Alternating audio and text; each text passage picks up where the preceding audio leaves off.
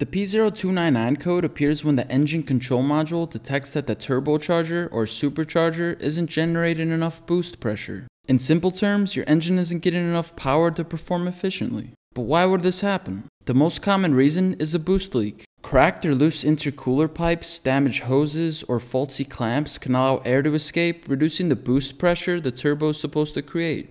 The second reason could be a failing turbocharger. If the turbo has worn bearings, damaged blades, or excessive play in the shaft, it won't generate the necessary boost for the engine.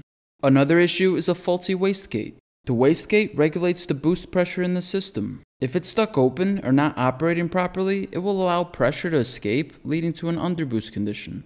The next thing to consider is the intake and exhaust system. A clogged air filter, dirty intake, or restricted exhaust like a clogged catalytic converter can reduce airflow, preventing the turbocharger from creating proper boost. The fifth thing to consider is faulty sensors. A malfunctioning map sensor or boost pressure sensor can send incorrect data to the ECM. This can cause the system to misinterpret the boost pressure, triggering the P0299 code. Lastly, a damaged or leaking intercooler can reduce the amount of compressed air entering the engine, which affects boost pressure and overall performance. Now, if you identified a different cause for the P0299 code, share it in the comments below.